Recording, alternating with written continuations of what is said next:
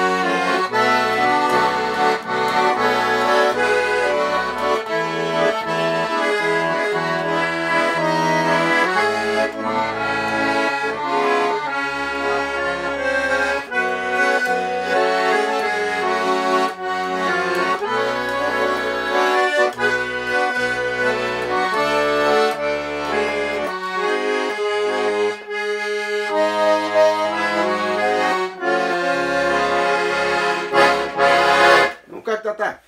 Примерно.